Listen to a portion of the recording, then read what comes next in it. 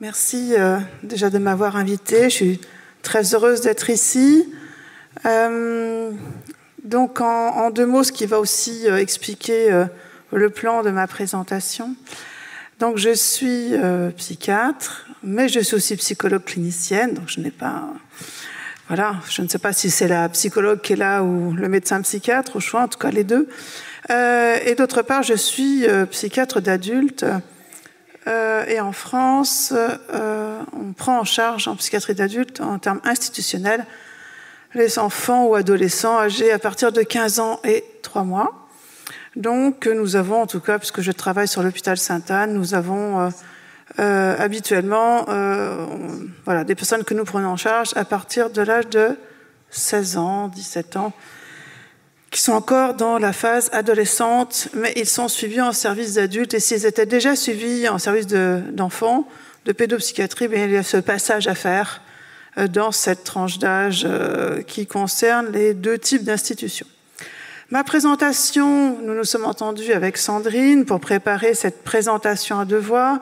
Donc Sandrine nous a présenté extrêmement clairement ce qu'on appelle MBI, les interventions basées sur la pleine conscience, Quant à moi, j'avais me concentrer uniquement sur un seul programme, dont l'acronyme est MBCT, qui veut dire en français, en anglais Mindfulness Based Cognitive Therapy, traduction française, thérapie comportementale et cognitive basée sur la pleine conscience, qui est le programme de soins, c'est-à-dire qui a été évalué, réévalué. On va voir ce que c'est ensemble euh, et en quoi ça consiste. Donc, tout d'abord le plan.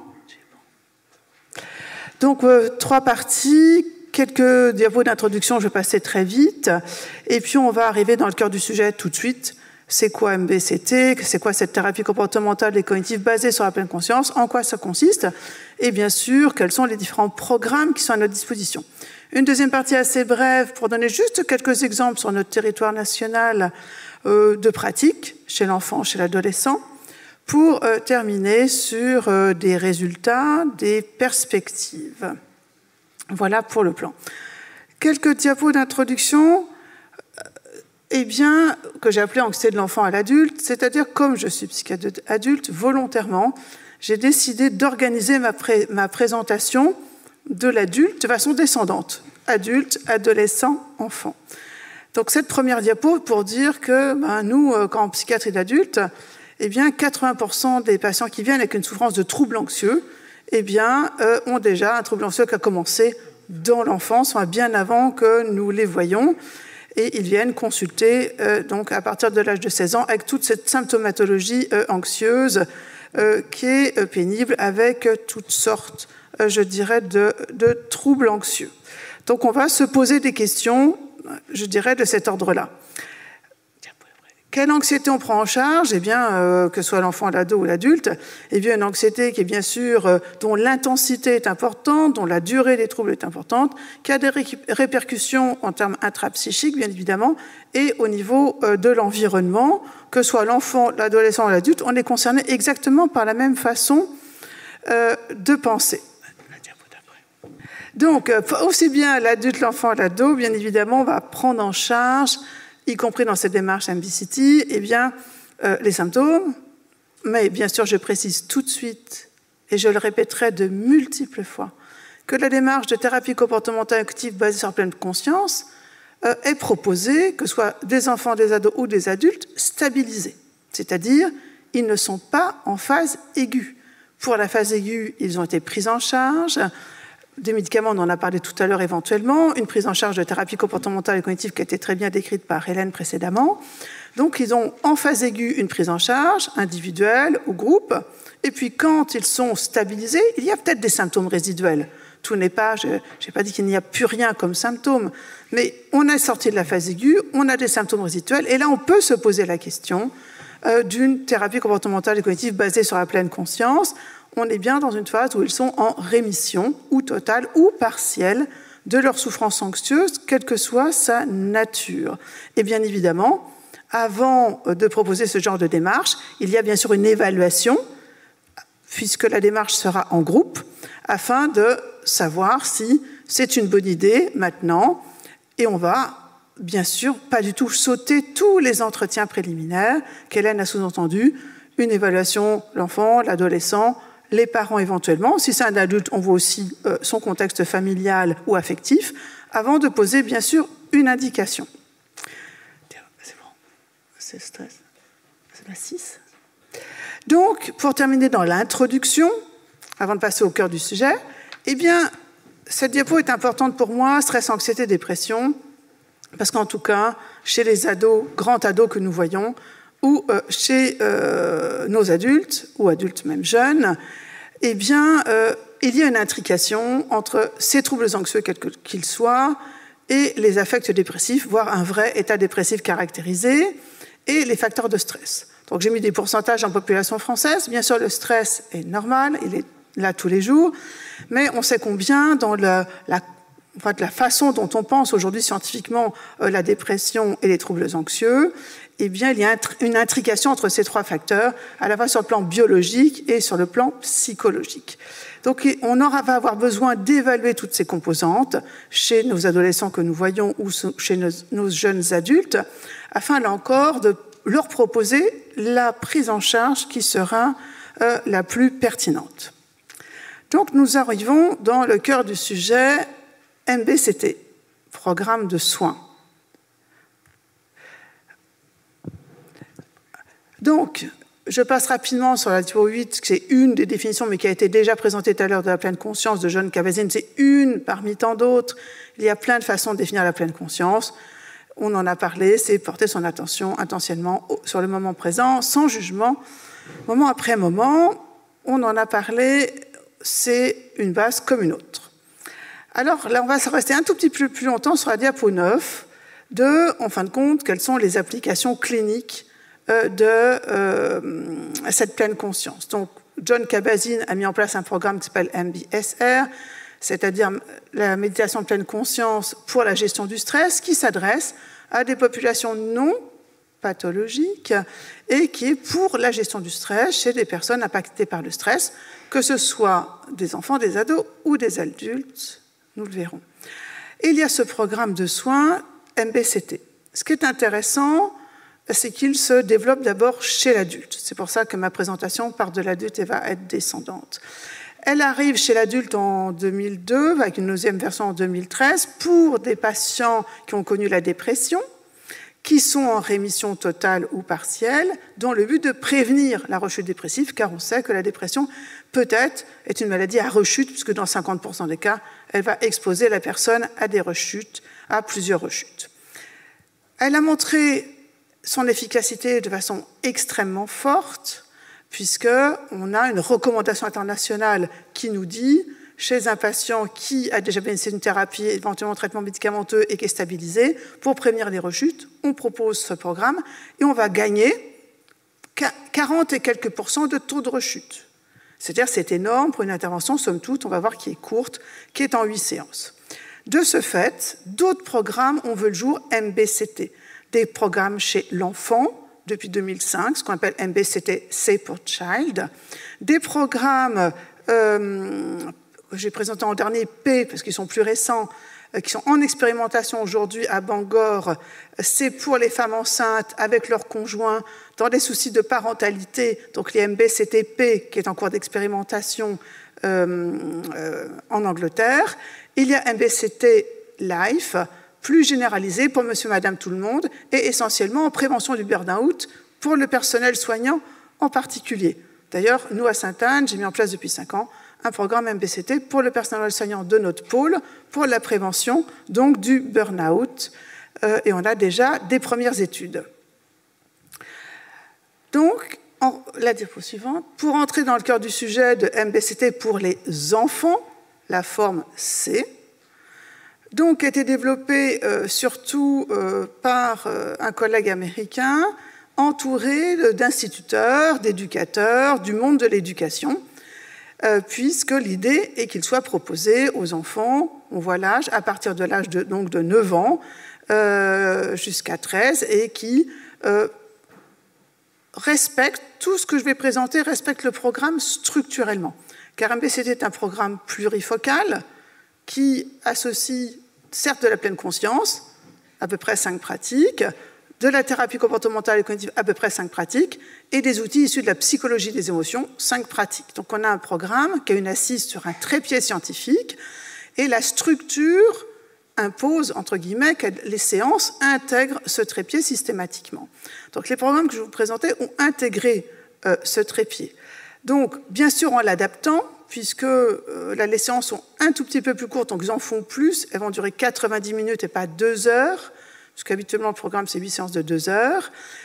il y aura moins de participants autour de 6 pour les enfants, obligatoirement deux instructeurs formés qui ont déjà l'expérience euh, du groupe, et bien sûr avec des supports adaptés à l'enfant.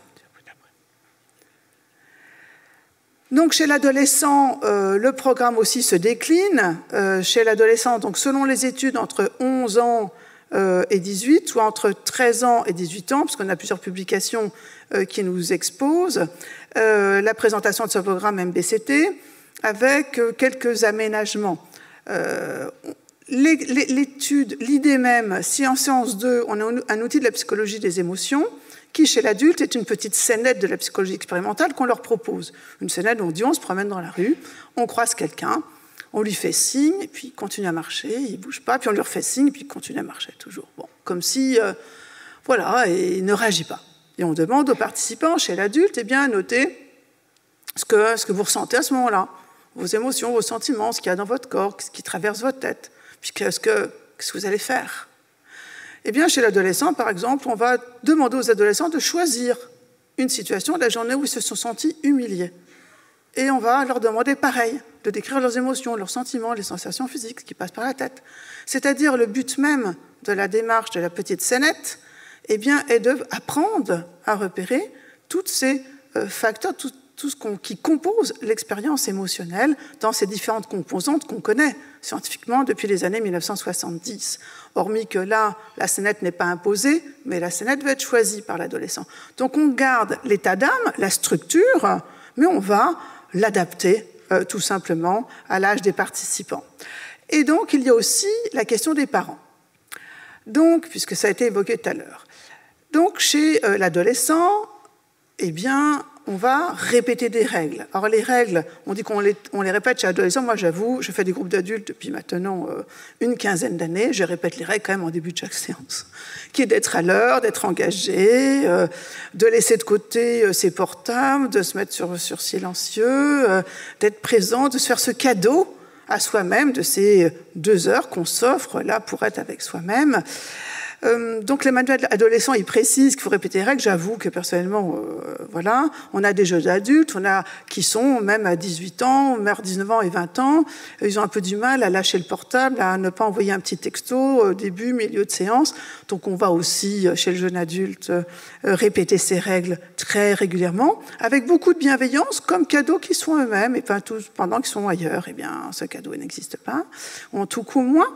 Et puis donc les parents, eh bien les parents dans les programmes américains, voire néerlandais, eh bien on propose des groupes aux parents séparément, avec un même rythme, dans le but que les parents développent aussi cette bienveillance, que ces parents développent aussi euh, les compétences qu'on apprend à leurs enfants. Donc les compétences, elles sont sur la diapo 12, la suivante, c'est-à-dire être capable d'observer sans jugement, d'être présent, euh, pouvoir euh, euh, apprendre le lâcher-prise, pouvoir focaliser, défocaliser son attention, pouvoir choisir ce qu'a dit déjà, je ne vais pas m'apesantir, très bien Sandrine, pouvoir quitter, plutôt agir que subir, toutes ces compétences qui sont apprises aux enfants, aux adolescents, et je parle de l'adolescent pour l'instant, eh bien on va l'apprendre aux parents afin que le parent écoute son adolescent avec plus de bienveillance, sans qu'il soit tout de suite euh, dans l'interaction euh, ou dans le jugement. Et donc, ils ont montré que cet apprentissage parallèle chez les parents de l'ado et l'ado a un bénéfice euh, extrêmement important. diapo suivante. Alors, de quoi se compose MBCT C'est huit séances de deux heures avec deux, deux paquets quatre séances. La séance 1-4, faire attention à tout moment, a pour but de développer des compétences attentionnelles chez le participant. Euh, que ce soit euh, un ado, euh, un très jeune ado, un jeune adulte, et on va apprendre, on va pratiquer ce trépied de pratique pour prendre conscience que son esprit est souvent ailleurs, euh, ce qu'évoquait euh, Hélène euh, chez tout à l'heure l'anxieux social, c'est-à-dire 80% il est dans ses cognitions, il est dans ses pensées, il est ailleurs, il n'est pas avec vous, même si on avait l'impression qu'il était avec nous. Et donc c'est la prise de conscience de ce vagabondage mental, de ces pensées discursives qui sont sans cesse où la personne anxieuse est sans cesse happée, quel que soit son trouble. Dans une deuxième partie de la 5 à 8, qu'on appelle gérer les mouvements de l'humeur, parce qu'au départ c'était prévu pour des patients déprimés stabilisés, mais qu'on utilise de la même façon chez tous les, dans tous les troubles anxieux, stabilisés, eh bien on va apprendre des outils où on va exprès exposer la personne à une situation difficile pour lui, une situation anxieuse, qui a eu lieu, banale de la vie quotidienne, qui a eu lieu euh, dans la matinée. Et donc dans la séance 5, 6 et 7, nous allons répéter cette exposition, euh, je dirais, cognitive, cette exposition interoceptive, pour petit à petit que la personne développe une autre relation, ce qu'on a évoqué beaucoup, hein, je répète, une autre nature de relation avec ses pensées, avec les sensations de son corps, avec ses émotions, toute cette expérience qu'il est en train de vivre, non pas pour lutter, la chasser en disant non, non, je ne veux pas la vivre, je ne veux pas la vivre, au contraire, être englouti, submergé par les émotions, mais pouvoir petit à petit, et ça marche, hein, développer une autre relation, et puis choisir du coup l'attitude qui lui paraît la plus pertinente pour lui. Alors avant de passer à la suite, où je vais aller beaucoup plus rapidement parce que l'on a abordé le cœur du sujet, eh bien, je vais vous proposer une pratique qui va durer trois minutes. Pour ceux qui ont envie de la suivre, hein, je vais la guider. Euh, elle s'appelle l'espace respiratoire. L'espace respiratoire est une pratique de trois minutes qui est spécifique. Elle a été inventée pour MBCT, on l'a découverte avec MBCT, elle arrive en séance 3, elle est là à toutes les séances, 3, 4, 5, 6, 7, en devenant de plus en plus sophistiquée. Elle va vous paraître extrêmement simple. Peut-être que certains d'entre vous disent Oh là là, tout ça pour dire qu'elle a été inventée dans MBCT. On pourrait passer 3 à 4 heures rien qu'à la décortiquer en termes de neuropsychologie et de psychologie des émotions, tellement elle est sophistiquée, même si elle, vous elle va vous paraître extrêmement simple. Alors, ceux qui ont envie de pratiquer, les autres peuvent écouter s'ils n'ont pas envie, eh bien, vous aurez assis sur votre chaise et tout simplement, c'est de prendre une posture, le dos un petit peu droit, la tête dans l'axe du dos. Les bras sont demi-fléchis, les mains peuvent être posées sur vos cuisses. Et tout simplement prendre quelques secondes pour une posture qui évoque, comme on dit, l'éveil, la présence à soi. Je suis présent à moi-même là, à ce qui va se passer. Vous pouvez fermer les yeux, les avoir à mi-clos ou regarder devant vous un point neutre. Et pendant les quelques minutes qui viennent, quelques secondes plutôt, observez ce qu'il se passe en vous. Vos émotions, vos sentiments, vos pensées et ce qui se passe dans votre corps.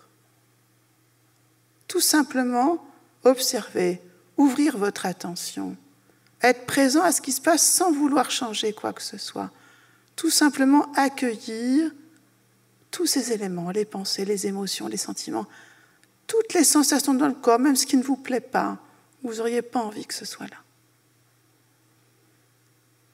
Puis maintenant, vous allez volontairement laisser tout ça en second plan, en fond d'écran, et porter volontairement votre attention, votre conscience active comme un projecteur sur votre respiration au niveau de votre ventre. Et là, comptez vos respirations. Vous comptez en fin d'inspiration une avant de lâcher à l'expiration. Et vous allez comme ça observer votre respiration, là encore, dans ses moindres sensations. Le mouvement du ventre qui monte et qui redescend.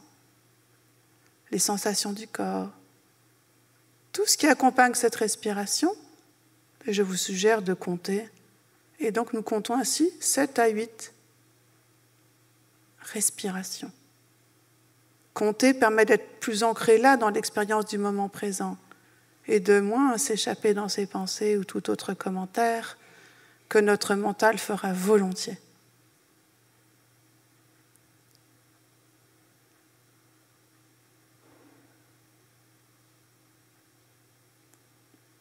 Et en étant là, sans chercher à modifier quoi que ce soit, même si nous trouvons notre respiration lente, rapide, anarchique, pas régulière, peu importe.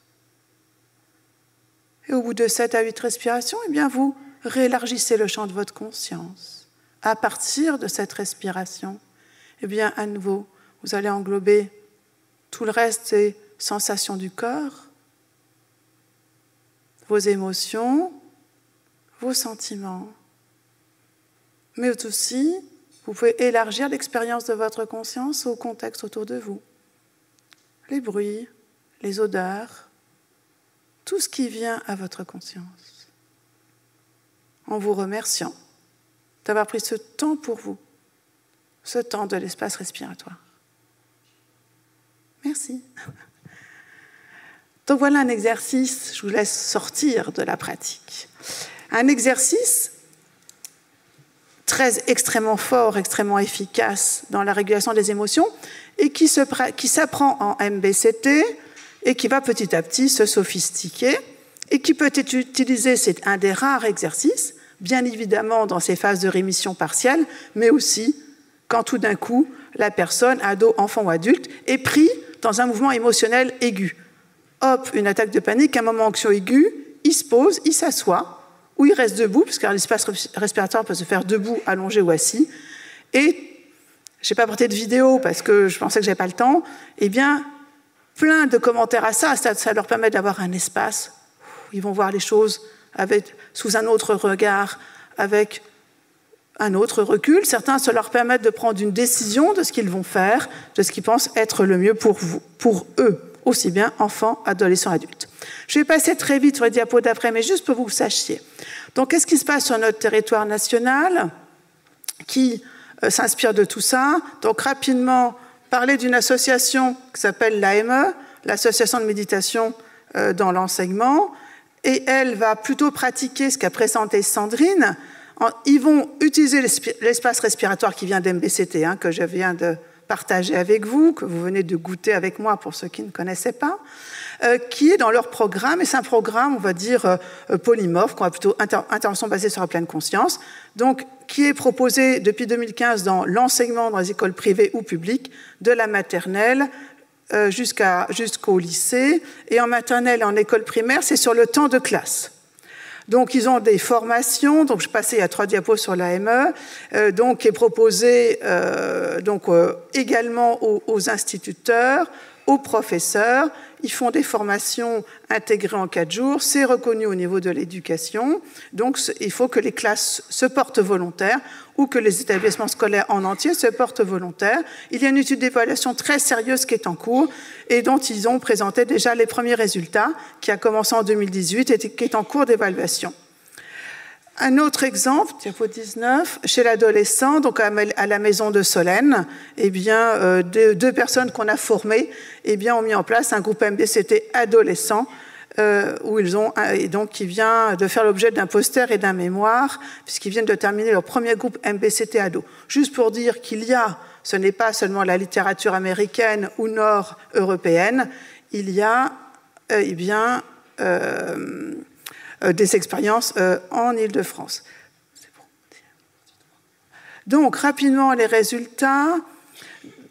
Donc, c'était dit, diapo 21, qu'on est dans la troisième vague des thérapies comportementales et cognitives. Donc, on ne cherche pas à combattre, à changer ses pensées, changer ses émotions, modifier quoi que ce soit. On est dans ce qu'on appelle l'acceptation et développer un autre rapport à. Donc, on est vraiment dans la troisième vague. Diapo Donc, MBCT, c'est juste pour dire que son indication est, dans tous les troubles anxieux, quelle que soit leur nature. Il n'y a pas de spécificité du moment qu'on est en rémission partielle ou en rémission euh, totale. On va sauter. Je saute. Je saute beaucoup plus loin pour finir. 27, ouais. Donc, juste pour présenter euh, des méta-analyses chez l'adulte, mais qui peuvent nous inspirer pour l'enfant et l'adolescent, c'est comme euh, a dit Sandrine, euh, sur l'intervention de certaine conscience, une seule méta-analyse que j'ai lue aussi, des études chez l'enfant et l'adolescent avec MBCT, mais il y en a trop peu, 3, 4, avec des échantillons disparates. Donc, pour l'instant, on ne peut pas trop s'en servir. Par contre, on a des méta-analyses chez l'adulte j'ai présenté que celles qui concernaient les troubles anxieux et qui nous montrent du coup une grande efficacité quand même. À chaque fois, vous voyez des échantillons de 500 et quelques euh, patients anxieux, en sachant qu'on les inclut dans les méta-analyses à partir de l'âge de 18 ans et on estime en psychologie que 18-25 ans, c'est encore des grands adolescents. Donc des, des effets très favorables.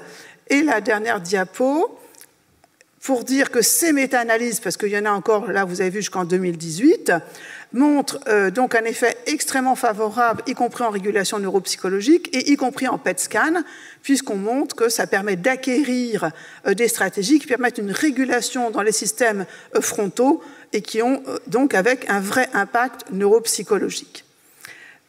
Et donc, conclusion, pour conclure, eh bien, intervention que tout le monde estime 8 séances de 2 heures ou réparties en une heure et demie, ou chez les enfants, comme l'AME, ils font plutôt 10 interventions d'une demi-heure, qu'on adapte, bien sûr avec les supports adaptés, extrêmement efficace, qu'on voit que sur le plan neuropsychologique, neurobiologique et fonctionnel au niveau du PET scan, se traduisent par des euh, critères qui montrent une vraie régulation au niveau de la régulation de l'anxiété. Et puis pour euh, faire un clin d'œil à la diapo conclusion, eh bien, je remercie la PPEA de, nous héberger depuis cette année pour notre formation en résidentiel, pour la formation, euh, on va dire, qui est celle des instructeurs en MBCT pour ceux qui veulent se lancer pour guider de tels programmes. Merci beaucoup pour votre attention.